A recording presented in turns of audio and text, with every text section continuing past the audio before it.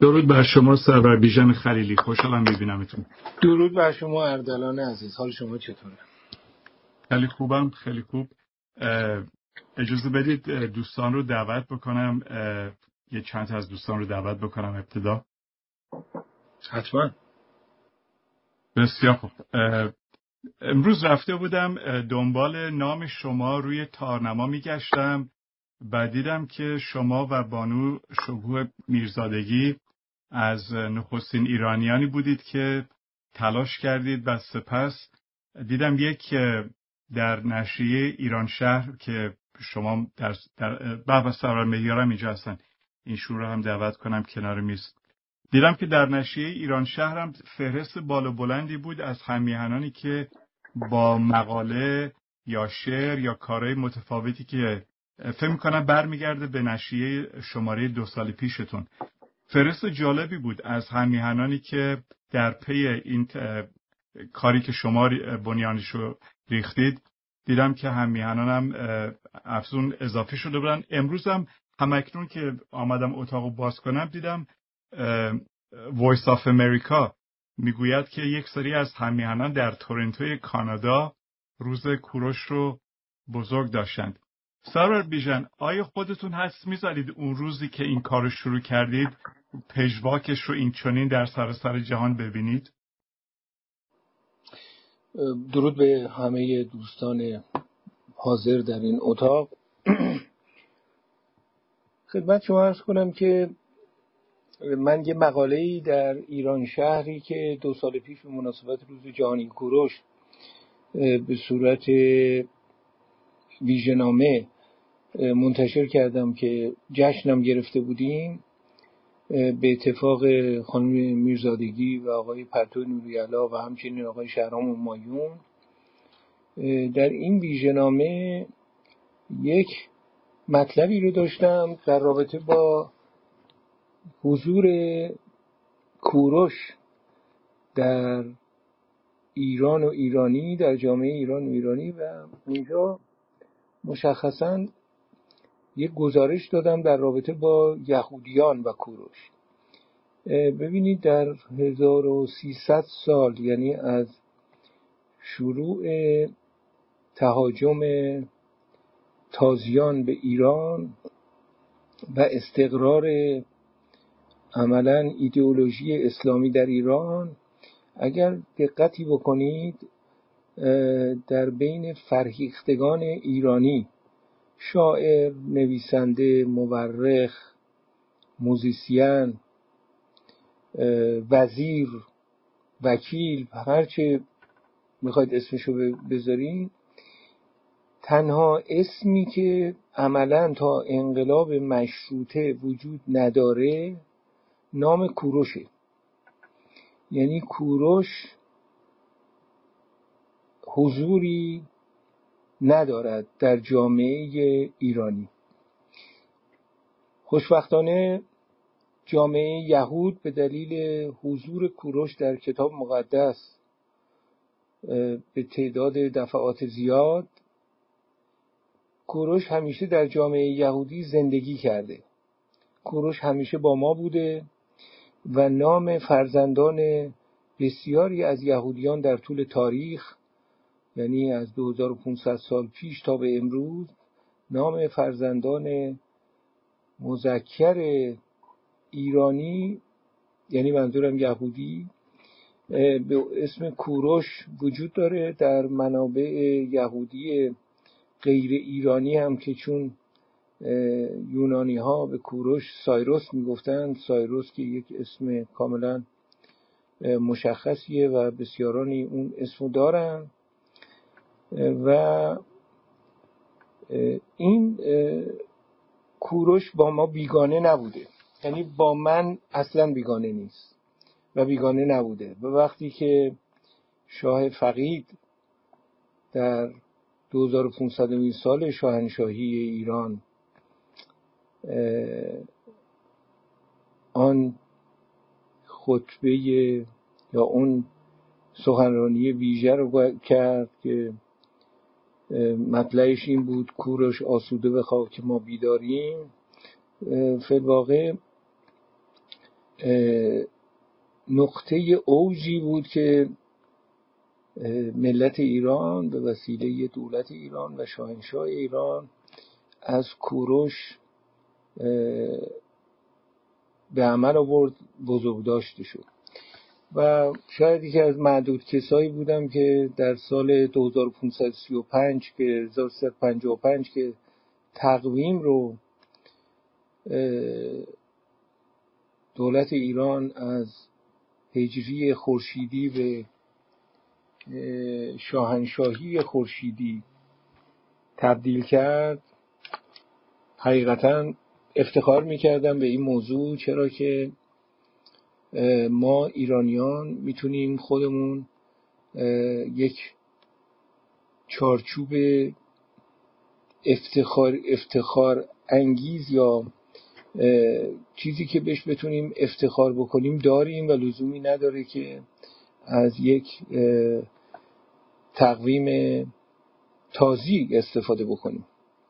به حال متاسفانه در سال 2537 یا 57 خورشیدی وقتی آقای شریف امامی نخست شد یکی از کارهای بسیار بد بسیار می‌تونم بگم متاسفانه ابلهانه این بود که با امتیاز دادن به روحانیت یکی از کارهایی که کرد این بود که تقویم ایرانی خودمون رو تبدیل کرد دوباره به تقویم هجری خورشیدی که کار بسیار غلطی بود امتیاز بیجهتی به روحانیت اسلامی داده شد و ما دیدیم که این امتیازات که دونه دونه داشت داده می‌شد به روحانیت هرچه بیشتر آنها رو مصمم کرد در براندازی یک حکومتی که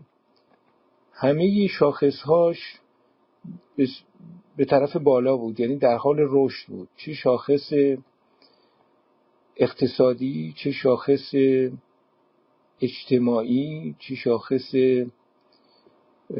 آزادی های زنان شاخص های متعددی می‌تونم نام ببرم. شاخص رواداری از همه چی مهمتر که جامعه بتونه دگراندیشان رو اجازه بده که زندگی بکنن اقلیت ها رو اجازه بده که مساوی اکثریت زندگی بکنن.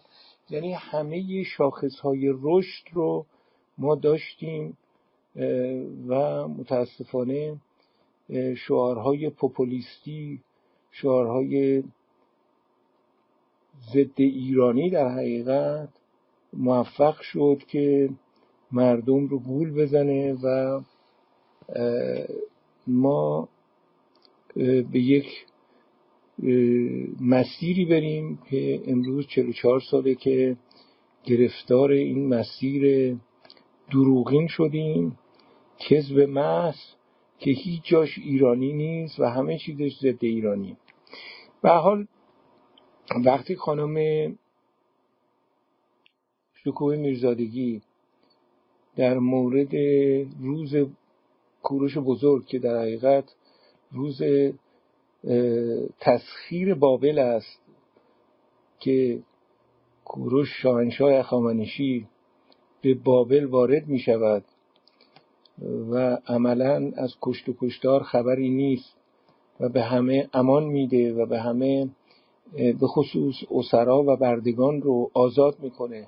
یادآوری می‌کنم که درسته که یهودیان این رو به گزارش به تاریخ دادن که این اتفاق افتاده و, یهود و کوروش یهودیان را آزاد کرده ولی یادآوری می‌کنم که کوروش همه اسرا و بردگان رو از یوغ چارچوب حکومت بابلی نجات داد و اجازه داد هر کسی برود به خانه و زندگی خودش و چنان محبوب شده بود کوروش که حاضر یهودیان نصف شدن نصفشون حاضر شدن برگردن به سرزمین موعود و نصف دیگر گفتن این مسیحی است که خداوند فرستاده و باید با او همراه بشویم. در نتیجه به همراه کوروش در ارتش کوروش در سازمان اجتماعی کوروش به ایران آمدند و در نقطه نقطه ایران سکنا گزیدند و با ملت ایران یکی شدند در 2006 که خانم شکوه میرزادگی این روز جهانی کوروش رو مطرح کرد بلافاصله برای ایشان نوشتم که شما منو به عنوان یک سرباز در این کمیته بینالمللی پاسارگاد داشته باشیم مطمئن باشیم به عنوان یک سرباز همیشه در خدمتتونم. و از سال 2007 روز جهانی کوروش بزرگ رو در تقویم های شرکت کتاب درج کردم و بلافاصله در بعد از سال 2007 یک ایده ای به نظرم رسید که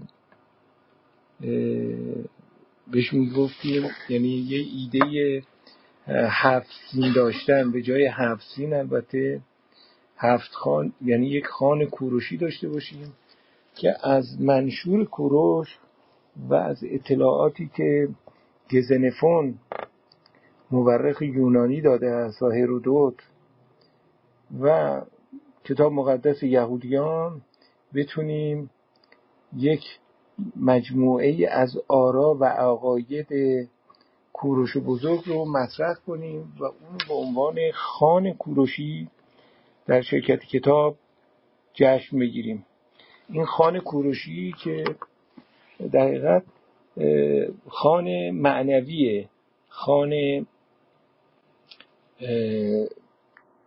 قضایی یا خان مادی نیست. خان معنویه که اندیشه های کوروش رو مطرح کنیم در روز جهانی کوروش به عنوان یک کار اساسی به نظر من که ما ایرانی ها همیشه یادمون باشه که یک شخصیت تاریخی یک شخصیت جهانی رو ما داریم به عنوان کوروش. اجازه بدین این هفت خان کوروشی رو براتون بخونم. نخستش رواداریه. دوم آزادی بردگانه. سوم آزادی دینه. چهارم عدل و داد برای همگانه. پنجم آزادی بیانه. ششم برابری و عدالت برای همگانه. و در نهایت گسترش صلح و آسایش و شادی. این تفکر کوروشیه که من معتقدم که ما ایرانی ها با داشتن نوروز با داشتن مهرگان به نظر من یک روزی رو به عنوان کوروش بزرگ داریم که اندیشه های کوروش رو نه فقط در بین مردم خودمون بلکه در بین جهانیان مطرح کنیم. و کوروش رو با این ترتیب و تفکر کوروش رو و اندیشه های کوروش رو بزرگ بداریم. یادآوری می‌کنم از صد شخصیت بزرگ تاریخی که یکی از نویسندگان امریکایی انتخاب کرد در سال 1978 در کتابی با عنوان همین صد بزرگ یا صد نفری که تاریخ رو تغییر دادن یا مسیر تاریخ رو تونستن تغییر بدن با حضور خودشون در تاریخ. ما, ما ایرانی ها سه نفر از اون صد نفر رو از نظر این نویسنده داریم که الان اسمش یادم نیست. یکیش مانیست یکیش زرتشته و دیگری کوروش بزرگ. کوروش به حال یک شخصیتی است که از همه چیز مهمتر این جریان هفته آبان یا 29 اکتبر آنچه که در ایران شکل گرفته و آنچه که مردم ایران امروز متوجه شدن که فیلواقع کوروش پدر همه ماست پدر معنوی همه ماست و ما می‌تونیم به کسی مثل کوروش اقتدا کنیم و او کسی باشد که خودش و اندیشهش راهبردی باشد برای ملت ایران. و ما بتونیم ملت ایران با همه عقاید متفاوتی که می‌تونیم با هم دیگه داشته باشیم در یک چیز با هم دیگه شراکت کنیم در یک چیز با هم دیگه مشارکت کنیم و متحد بشیم دور اون یک چیز و اونم حضور کوروش در تاریخ ماست و حضور بیبدیل او که بسیار ارزشمنده و بسیار می‌تونه ارزشمند باشه و همه ما آنان که با کوروش آشنایی پیدا کردن بایستی هدفشون باشه که این تفکر کوروشی رو بست و گسترش بدن اگر سوالی هست در خدمتتون سپاسگزارم سر بیژن. دو سال پیش هنگامی که در تورنتو مجسمه کوروش رو برپا داشتند شما نامه ای نوشید به شهردار تورنتو و امروز هم باز می‌بینم که در شهر آتلانتای ایالت جورجیا یک پرده برداری شده از مجسمه کوروش در موزه میلینیوم گیت. شما توی این مدت از فکر کنم نزدیک چند سال میشه از سال 2007 که آغاز به کار کردید تا این 14 سال میگذرد. بیش از یک دهه. چگونه است؟ دنبال می‌کنید این روز کوروش رو در سراسر جهان؟ پیام میفرستید؟ نامی میفرستید؟ میشه آیا از اینم قدری برای دوستان تعریف بکنید. حتما. تا اونجایی که ممکنه ما در چارچوب وظیفه‌ای که داریم کارمون رو انجام میدیم. البته باید یادآوری کنم در مورد مجسمه کوروش که من عضو یکی از هیئت مدیرای میراث کوروش بزرگ هستم که آقای مهندس بینام آبادیان. محل خیر بوده است که یک مجسمه کوروشی که مرحوم روانشاد مهندس امینی سام طرحش ریخته بود. ایشون این مجسمه رو درست کردن و این مجسمه رو در مرکز زرتشتیان جنوب کالیفرنیا در البته سان فرناندو ولی این مجسمه رو برپا کردن. و پیشنهاد کردیم در تورنتو هم برپا کنند که تا این لحظه هنوز مورد موافقت شهرداری تا اونجا که من می‌دونم قرار نگرفته. نامه های متعددی از طرف همین میراث بنیاد میراث کوروش بزرگ برای شهردار تورنتو برای مقامات دیگر تورنتو و دانشگاه تورنتو از طرف آقای دکتر توکلی ترغیب رفت و البته هنوز پاسخی نگرفتیم. تا اونجایی که می‌دونم آنچه که امروز در آتلانتا رونمایی شده یک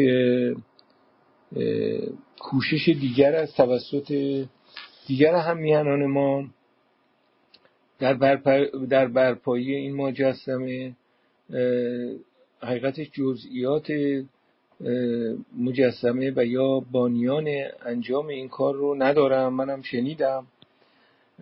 امروز در لس آنجلس هم یک راهپیمایی از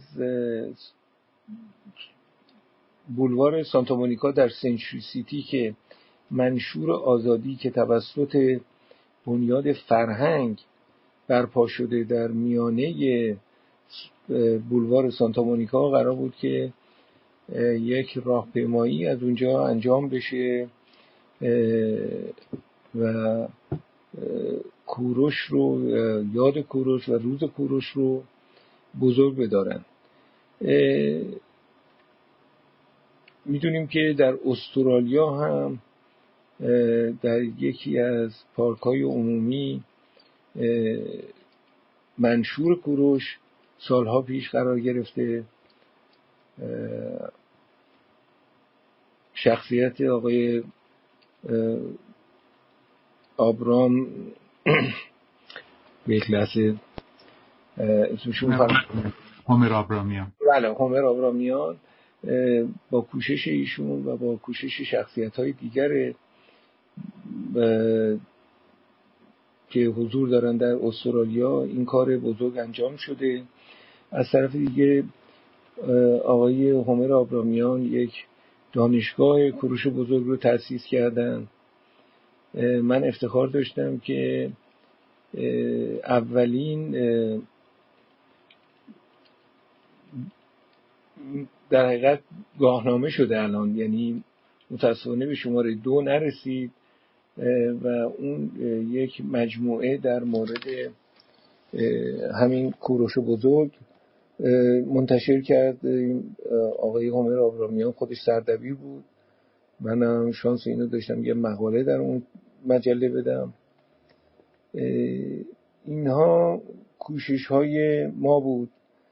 مرحوم مهندس امینی سام یک پروژه ای داشت که خب البته با حضور جمهوری اسلامی عملی نبود ولی می‌خواست در خلیج فارس به مانند مجسمه آزادی که در نیویورک در اقیانوس اطلس توسط فرانسوی ها درست شده و به امریکا برده شده و اونجا مستقر شده می‌خواست که یک مجسمه یک کوروش بزرگ به همون اندازه و همون ارتفاع و با همون اباحت در مدخل خلیج فارس قرار بده که متاسفانه نه اون به ایشون قد داد و نه اینکه هنوز جمهوری اسلامی که ضد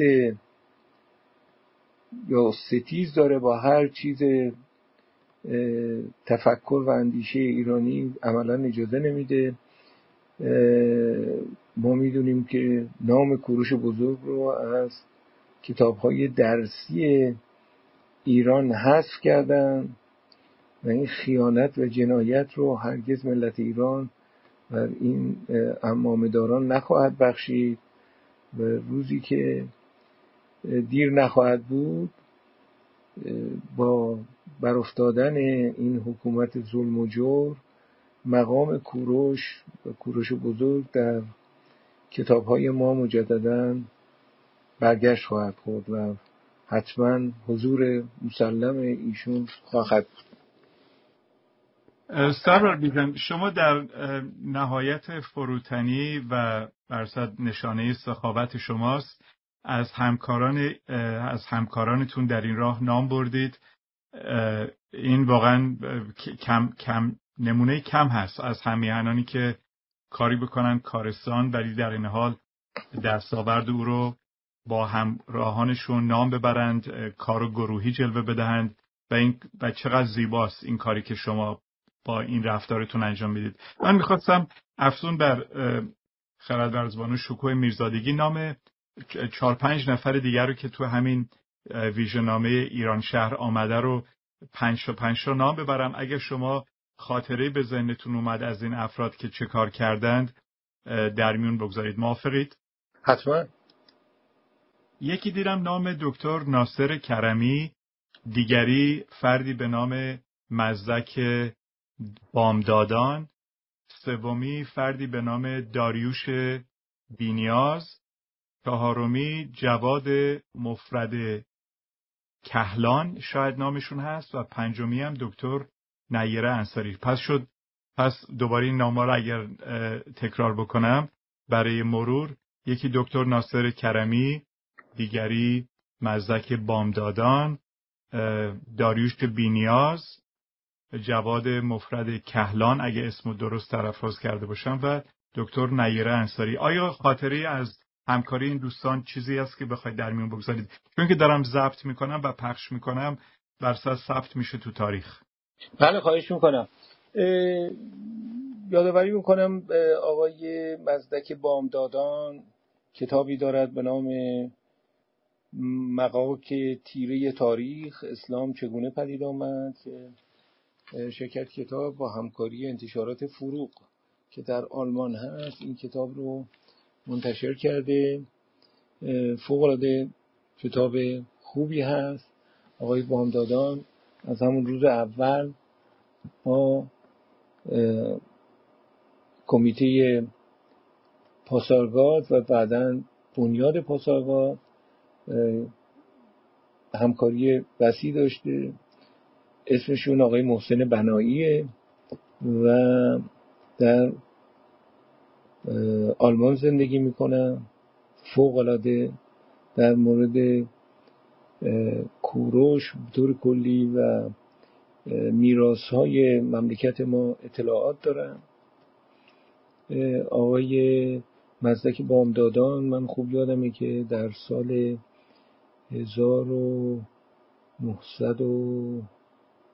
1997 یک مقاله از ایشون در مجله مهرگان به مناسبت مهرگان منتشر کردم از آقای بامدادان که خوب یادمه که این مقاله‌ای که نوشته بودن در رابطه با حجوم تازیان و اینکه ما ایرانی ها صاحب دو هویت شدیم. یکی هویت عربی اسلامی و دیگری اون هویت ایرانیمون. چون چنان اینا از بیخوبون هویت ایرانی ما رو تلاش داشتن از بین ببرن.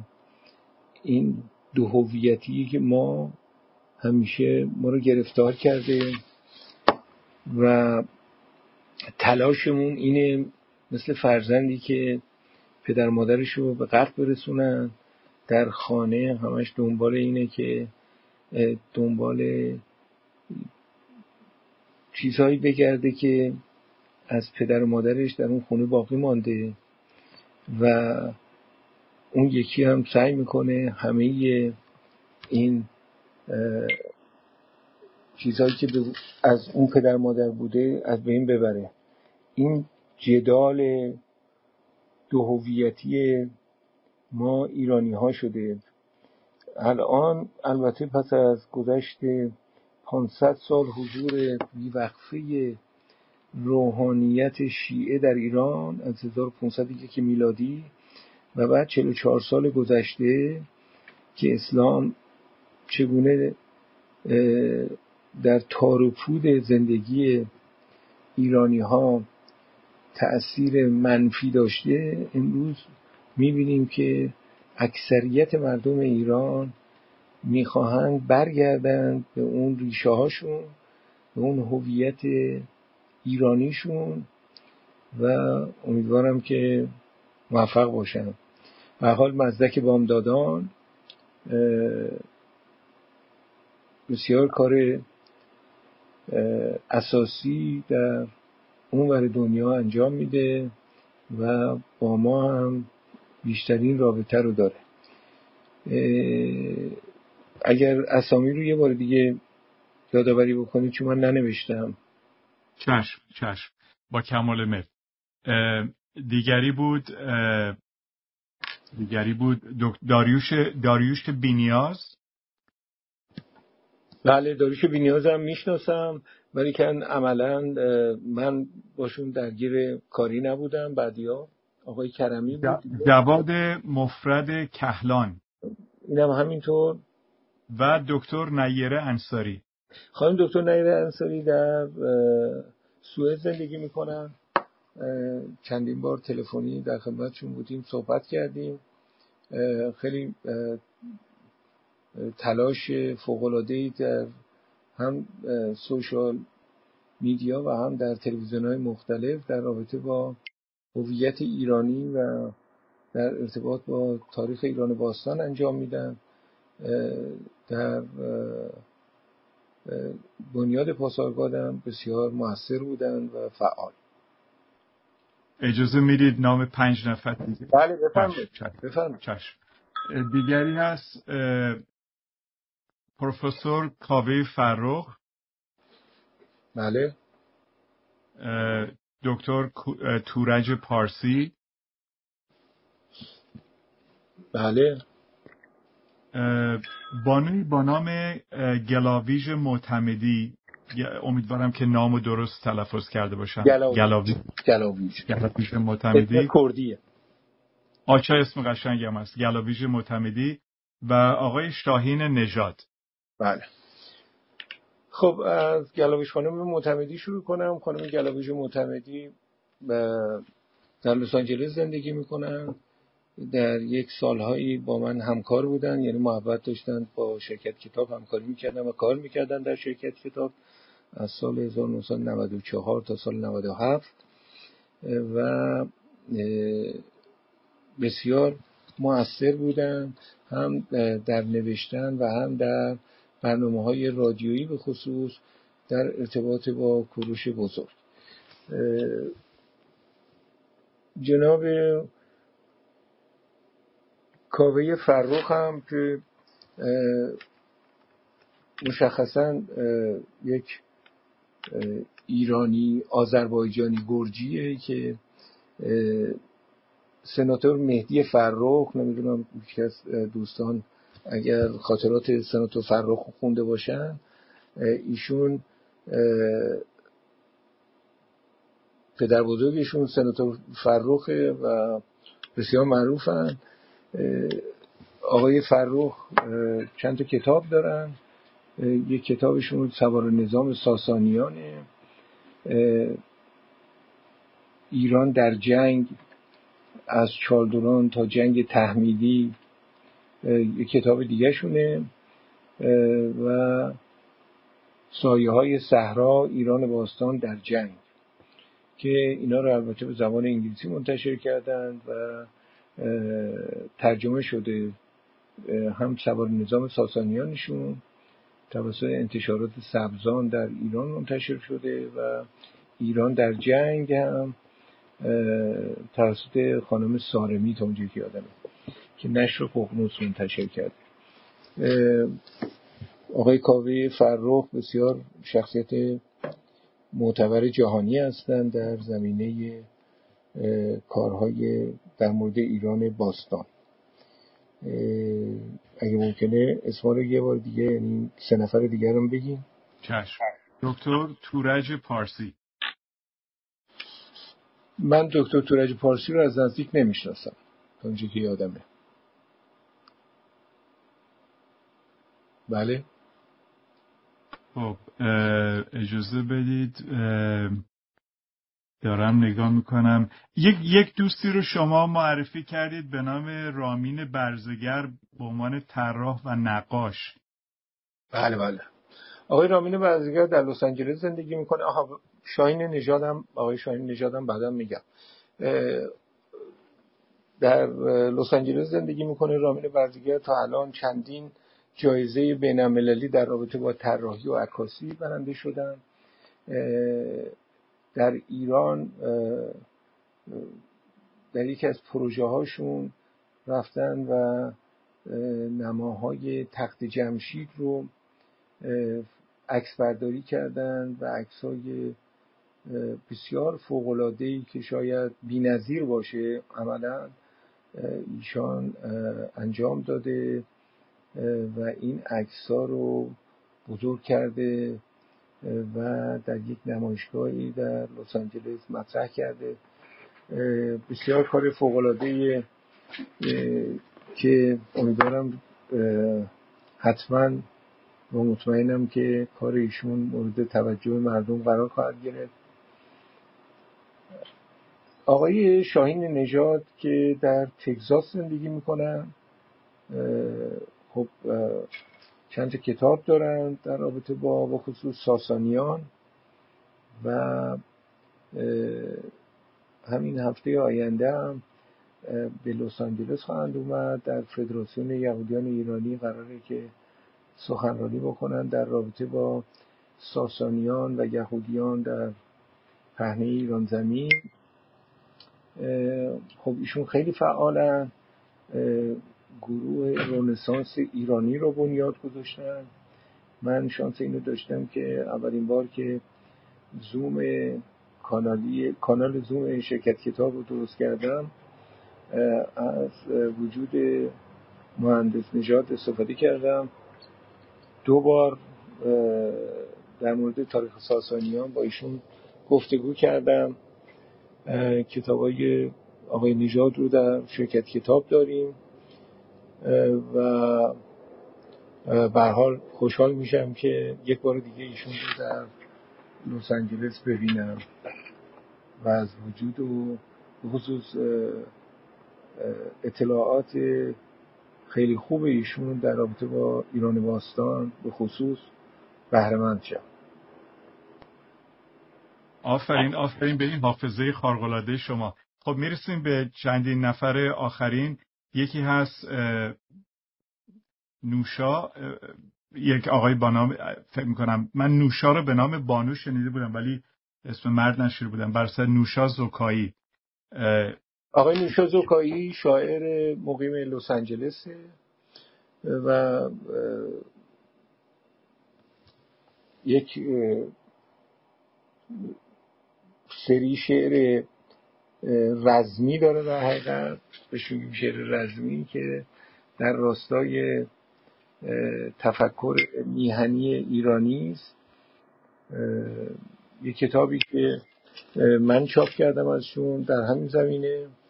یه مجموعه شعرشون و یه مجموعه شعر دیگه هم آماده کردیم که امیدواریم به زودی منتشر بشه.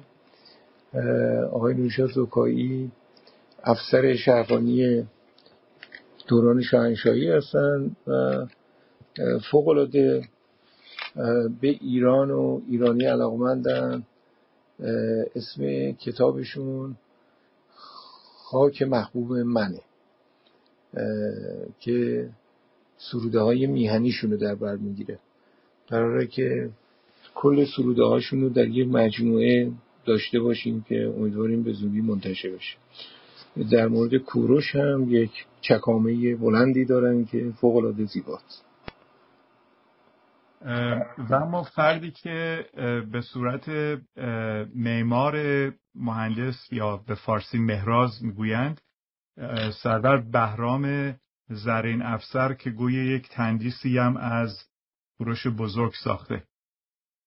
بله هندازمند یا مهندس بهرام زرین افسر آرشیتکته و بنده افتخار داشتم. ایشونم بشناسم از نزدیک. ایشون در جنوب کالیفرنیا زندگی می‌کنه دوی منطقه اورنج کانتی زندگی می‌کنه. تندیس کوروش بزرگی رو که ساخته سال گذشته در انجمن زردشتیان کالیفرنیا. در منطقه وستمینستر که بازم در اورنج کانتیه این مجسمه رو برپا کرده. ده سال زحمت کشته این مجسمه رو درست کرده بر پایه تمام اطلاعاتی که این ورانور جمع کرده بود. به مهندس سیفون هم پروژهش رو نشون داده بود تایید شده بود از طرف مهندس سیفون من 2013 افتخار اینو داشتم که همراه مهندس بهرام در دو تا برنامه تلویزیونی که شرکت کتاب داشت شرکت بکنیم و در مورد دستاوردهای این دوست عزیزم آقای زرین افسر صحبت کنیم. فوق العاده فرد ایران دوست میان پرست و انسان از همه مهمتر هستش این آقای مهندس بهرام خان و خیلی هم بهش علاقمندیم. خیلی هم کمک می‌کنه به بسیار چیزها. در همین روز کروه بزرگم یک برنامه گذاشته بود که متاسفانه من نتونستم همراهی کنم حضور داشته باشم به خاطر مشغله زیاد. و آخرین فردی که می‌خواستم جای ارزیابی شما بشم با سپاس از وقتتون. منوچهر کوهن هست. بله آقای مهندس منوچهر کوهن روانشاد منوچهر کوهن که تقریبا سالگرد در گذشتشه همین روزها. ایشان مهندس آرشیتکت بودن و در البته از دانشگاه تهران بعد در ایران مصدر بسیاری خدمات بودن. نایب رئیس انجمن کلیمیان تهران بودن. به جرم واهی توسط سپاه پاسداران دستگیر شدن. مدت فکر می‌کنم دو سالی در زندان اوین بودن. به حال خلاص شدن و به لس آنجلس آمدند آقای مهندس کهن چکامه بسیار ویژه‌ای دارد با عنوان کوروش آسوده مخاب که در ایران شهر ویژه نامه ایران شهر منتشر شد. مهندس کوهن یک کتاب دیگه هم داره که مصاحبه و گفتگو با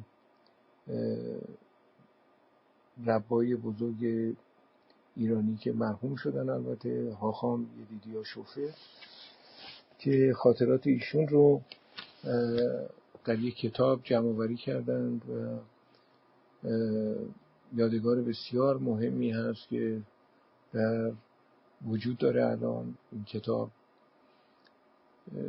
من یک شانسی آوردم که در آخرین سال زندگی مهندس کهن یک کتابی از ایشون یعنی مجموعه شعرهای جدیدش رو منتشر کردم با عنوان زنان اسم خوبی داره الان میگم خدمتون شما به من گفتین که خاطره خوب دارم ولی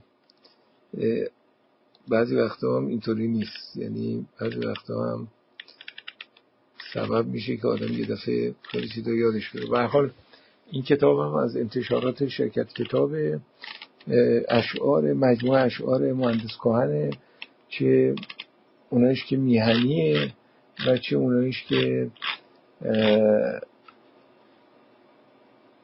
عشق و عاشقانه است در حقیقت. با عنوان فکر می‌کنم. در رابطه با یعنی قبل از زن زندگی آزادی این کتاب چاپ شده و یکی از ارزشاش هم اینه که به اسم زنان مطرح کرده این آقای مهندس کوهن عزیز. اجازه بدین الان بهتون میگم روی روی تارنامه‌تون دیدم که هست سرزمین من سرزمین من بانوی من بله. سرزمین من بانوی من مجموعه شعر منیکر کوهنه که میگم این پیش از انقلاب زن زندگی آزادیه و ارزشش به همینه خب سرور خلیلی خودتون چهارده سال پیش فکر می‌کردید که بافندی یک ریسمانی بشوید به نام کوروش که این مرواریدها بهش اینگونه آویخته شدند؟ ببینید واقعیتش اینه که یک مجموعه همکاری همه با هم اینو نتیجه داده. منم یه بخشی یا حلقه کوچکی از اون زنجیر کلی بودم. ببینید کوروش چه بخوایم چه نخوایم یعنی حتی اونایی که انکارش می‌کنن حتی اونایی که میگن وجود نداشته. ولی کن این اندیشه حتی اگر دروغ باشه. یعنی حتی اگر ما اصلا بگیم که کوروشی وجود نداشته. چون یه عده اصلا انکار می‌کنن که کوروش وجود داشته. و میگن این توطعه یهودیانه که اصلا یه همچی چیزی رو به تاریخ گزارش دادن. هرچند ما غیر از کتاب های یهودیان ما در جای جای تاریخ اسم کوروش رو می‌دونیم. هم هرودوت مطرح کرده هم گزنفون مطرح کرده هم در کتاب ایام تواریخ پادشاه وقت بابلی که کوروش میاد به دروازه های بابل می‌رسه کوروش رو مطرح می‌کنه. بنابراین غیر قابل انکاره. ولی بعضی ها میگن که این منشوری که کوروش درست کرده می‌خواسته خودنمایی بکنه و این دروغی بیش نیست. حتی اگر این اتفاق افتاده باشه یعنی واقعا بگیم حتی دروغه ولی اینکه همین که یه نفر در 2500 سال پیش یک همچین اندیشه ای رو حتی اگر به دروغ مطرح کنه خب خیلی آدم بزرگیه. یعنی می‌خواد یک امپراتوری بنا کنه که شادی درش باشه یک امپراتوری بنا کنه که رواداری درش باشه.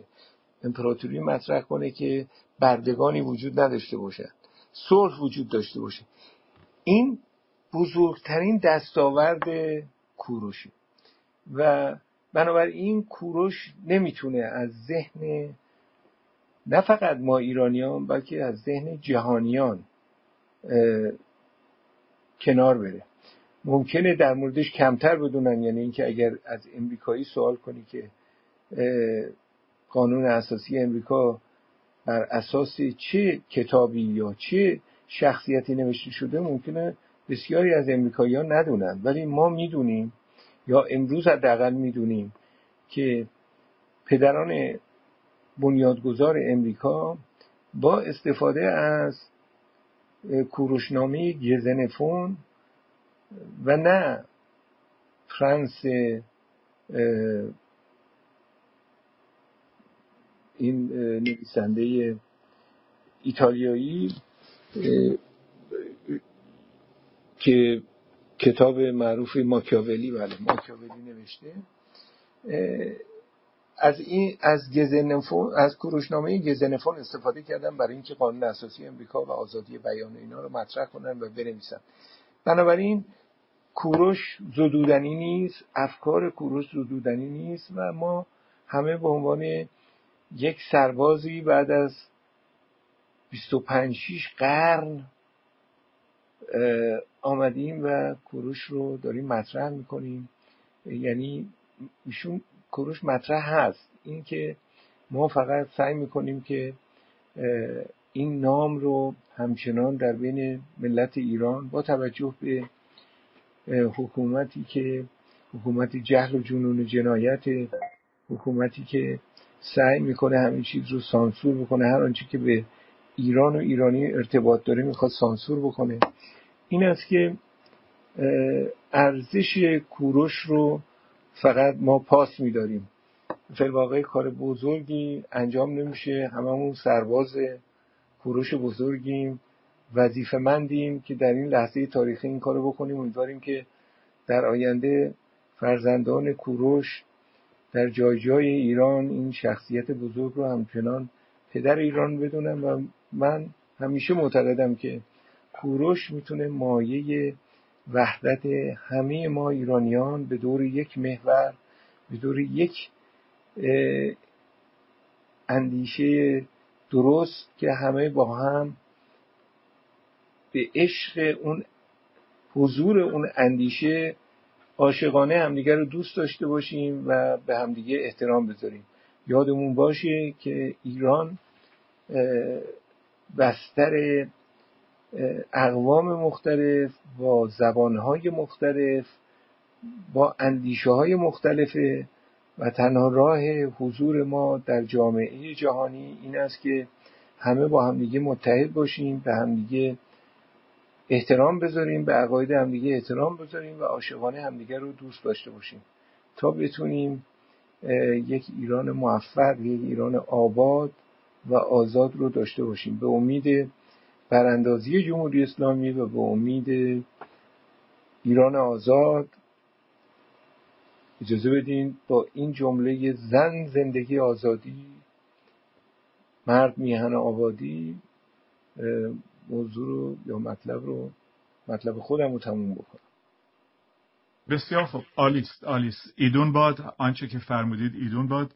من آخرین پرسشم قبل از اینکه گویانه رو بسپارم به همکار عزیزم سرور آریو و همیهن خوبم همسنگرم سرور مهریار. اگر پرسشی هم این دو بزرگوار از شما دارن در این دقایق پایانی بزرگواری بکنید و پاسخ بدید.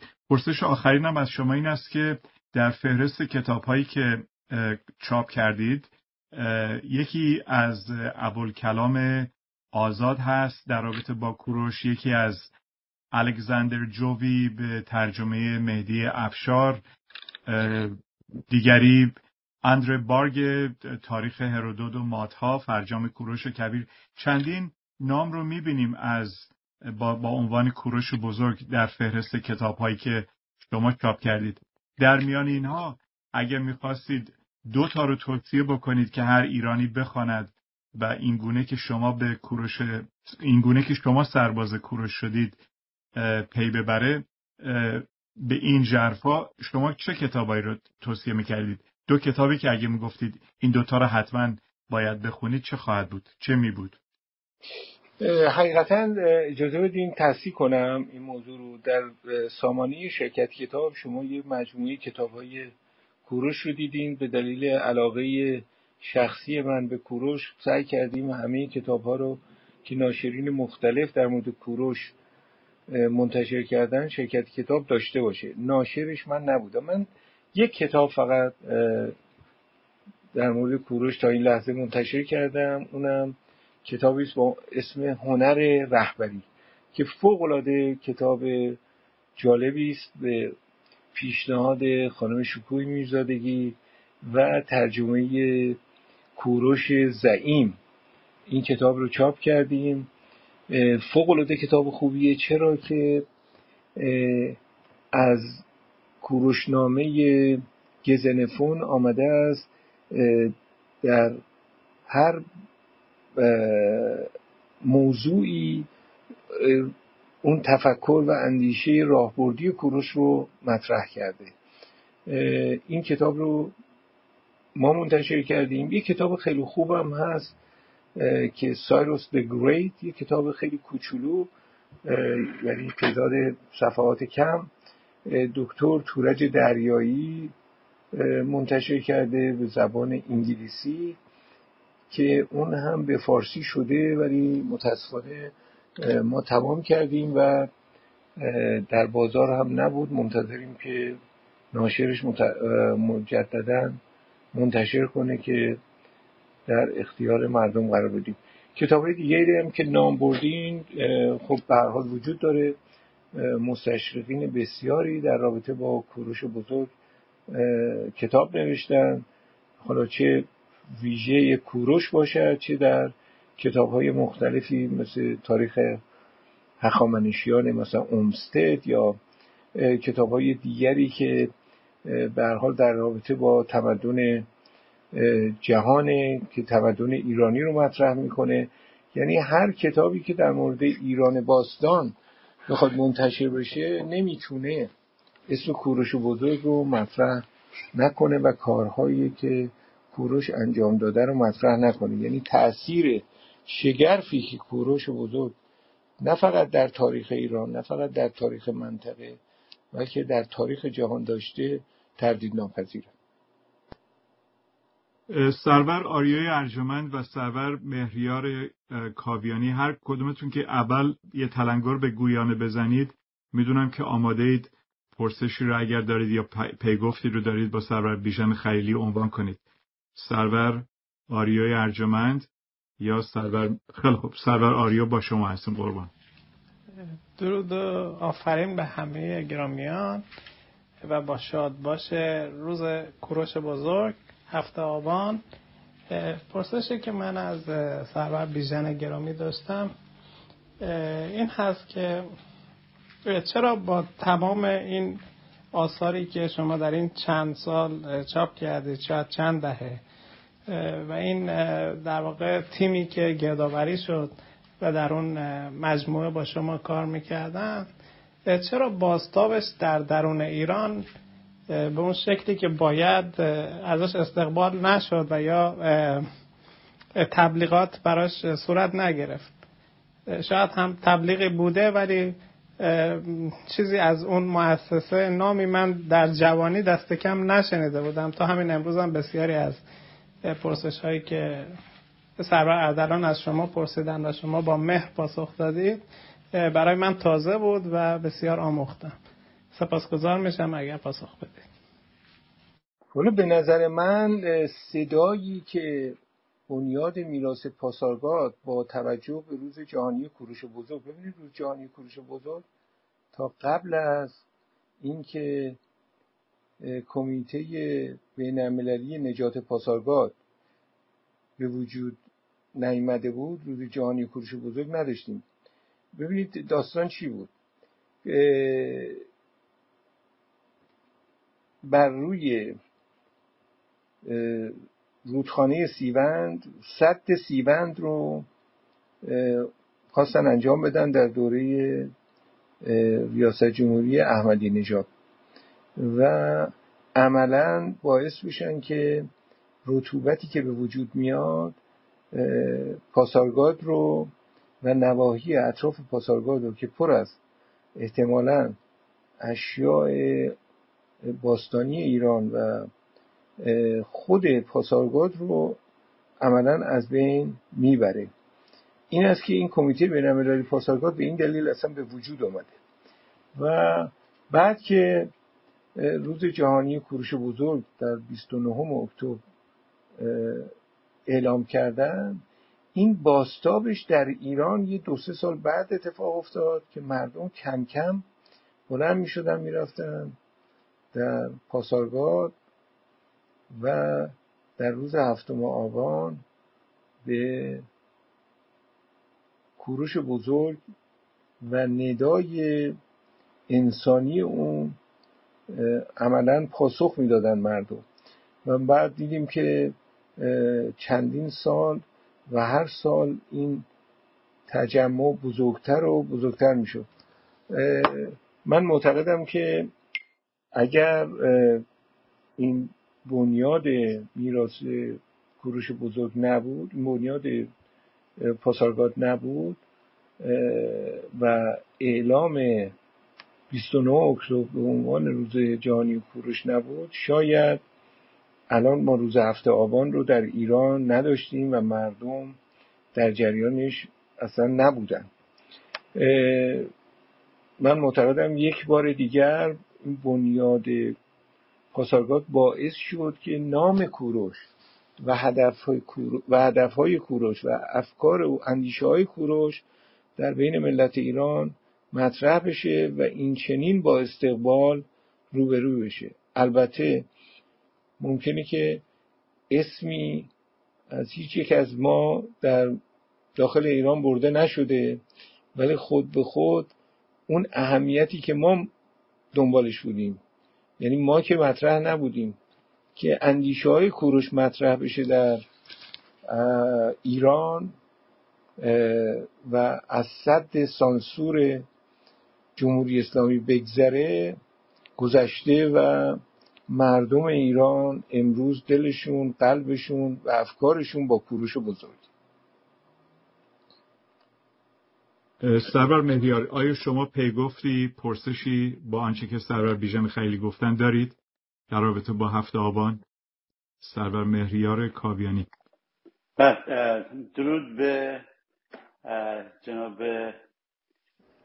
خلیلی و با سپاس فراوان از اردلان عزیز و دوستان دیگر که اطلاع دادید به من که در این صحبت های بسیار خوب جناب خلیلی شرکت بکنم. ایشون بسیار بسیار متین صحبت کردن در رابطه با کوروش. من از دورا دور ارادت دارم خدمت ایشون کتاب هایی که برای تحقیق خودم بوده در عرض این دعوای گذشته زن زدم. بعد وقتا مزاحم خودشون شدم و به سری این کتاب های تاریخی رو ایشون راهنمایی کردن و پیدا کردن برای من فرستادن. من جناب خیلی در کاویانی هستم در هیستون تگزاس هم. چندین بار با هم صحبت کردیم. بله یه بله. از بله از جمله در رابطه با این کتاب سوداگری با تاریخ آقای امینی محمد, محمد امینی. بله. ارزم به خدمت شما شما بسیار بسیار انسان فریخته هستید سپاسگزار. به عنوان یک ایرانی برای همه زحماتی که کشیدید. شرکت کتاب در این دوره که تأسیس شد بسیار در واقع یک منبع بسیار خوبی بوده برای اینکه کسانی که علاقمند به تاریخ ایران بودن بتونن خیلی سریع و راحت با راهنمایی شما بتونن کتاب های بسیار مفید رو دریافت بکنن. و هر زمانی که انقلاب ایران نوز بیشتری گرفته ملت مردم بیشتری به کتابخانی روی آوردن. و مخصوصا الان که در کنار مسئله جایگزینی رژیم منفور جهل جنون جمهوری اسلامی همه دنبال راه حل میگردن. دنبال میگردن که ببینن تاریخ و فرهنگ ما چه بوده چه معلفه هایی داشته چه خصوصیاتی داشته. به بهترین راه برای این مسئله بازگشت به تاریخ پادشاهی ایرانی هستش. و در این زمینه چون شما که این کتاب آقای زعیم و ترجمه آقای زعیم و از لری هیزبریک در واقع از بله بله. کتاب انگلیسی لری هیزبریک در ترجمه به فارسی که میشه معمولا خیلی از واژه ها به نوع دیگه. من با پوزش من ترجمه رو نمیپسندم. در یه سری جاهایی خود لری هیزبریکس این اومده خیلی به قول معروف یه حالت داستانی درست کرده. کتاب زنفون خود عطر کتاب زنفون در واقع منبع درستی هستش برای درک اصول پادشاهی چون اینو لری هیدرس نمیگه. اصولها و اون مسائل اصلی که خود زنفون در اون کتاب شیش جلدش در واقع مطرح می‌کنه. اینی که بعض وقتا این کتاب هایی که میاد در این زمینه بیشتر جنبه گزارشی داره که نویسنده فقط درک خودش رو ازش. نمیگم درک بدی داشته بسیار بسیار قشنگ برداشون آخر هر در این کتاب اصلی خود لری هیدریکس در واقع برداشته یه خلاصه کشی نتیجه گیری گرفته در کرده. در نتیجه بهتر بگم نتیجه اخلاقی اونو از زن خودش در اونجا مطرح کرده. ولی در مجموع چیزی که شما در رابطه با کوروش بزرگ در رابطه با نقش ایشون در گسترش فرهنگ ایرانی مخصوصا اندیشه اشوزرتوش اندیشه آریایی ایرانی و در کنار اون رابطه مستقیمی که با یهود با ملت یهود داره. یعنی این دوتا از همدیگه در طول تاریخ به نوعی در همدیگه ادغام نشدن ترکیب شدن این دوتا فرهنگ با همدیگه برای همین هم هستش که نزدیکترین تفکری که به ایرانی وجود داره تفکری هستش که در واقع قوم یهود داره با قوم پارسی یا قوم آریایی ایرانی. ولی بسیار سپاسگزارم. از صحبت های بسیار بسیار متین و کاملا درستتون. سپاسگزارم از اینکه شما این نکته رو اتفاقا امروز من در یک جلسه دیگری که بودم مطرح کردم. شوربختانه دوستان وقتی که شمسی میگن به این اصل توجه نمی‌کنن که شمسی هجری است. فقط میگن خورشیدی که به نوعی به قول معروف کلاه شرعی هستش روی سالنامه ایرانی.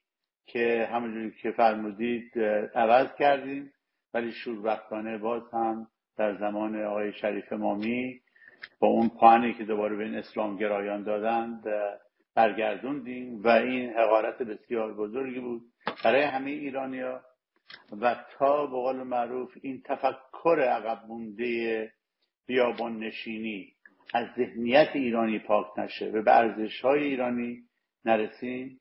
به جایی نخواهیم رسید. باز هم سپاسگزارم. فقط هدفم از صحبت کردن قدردانی از شما برای همه زحماتی که برای فرهنگ و جامعه ایرانی می‌کشید.